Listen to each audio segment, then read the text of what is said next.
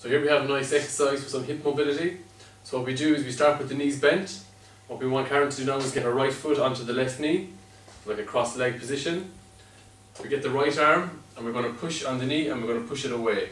Okay, make sure the pelvis remains on the bed, the lower back and the pelvis remains on the bed, so there's no rocking. We want to push on the knee so we feel a stretch into the groin and the side of the hip.